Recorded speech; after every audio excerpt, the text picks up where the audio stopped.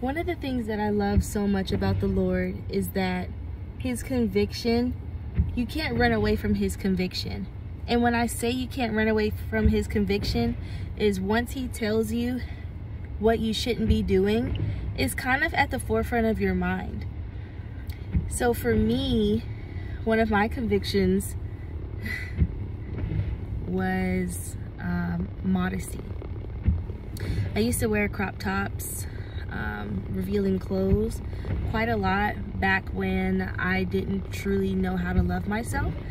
And I'm now walking into a season where I love to cover up in a way. And not I'm covering up because I don't want anybody to see my body because I'm trying to lose weight and things like that. That's not that's not why I'm covering up. I'm covering up. Oh, that looks so cute. I'm covering up because I want to honor God with my body. And um, modesty and purity doesn't just look like covering your body up with, you know, all these clothes on. Modesty and purity also comes out of your mouth. Uh, one of my friends, Aisha, she has this ministry called the Purity Pursuit.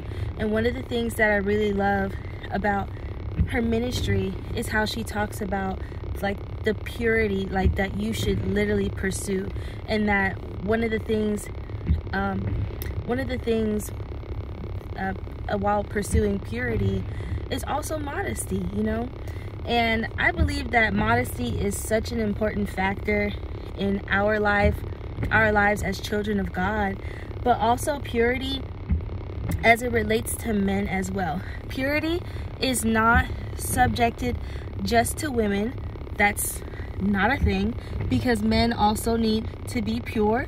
Men also need to be modest. You're modest with your mouth. You're modest with how you dress. You're modest with your language. You're modest with your heart. You're modest with everything because you're literally submitting everything to God. So I just wanted to talk to you about that because modesty is not subjective, is, is not just, yeah, subjective to just women um, men also are called to be modest. Men are also called to be um, pure. And while I'm taking my hair out, I decided to talk to you about that. I'm loving my hair like this. Let me know. What do you think? Because honestly, I just, I just think it's super cute. Uh, my, my friend just colored my hair, and honestly, it's a vibe. It's a vibe.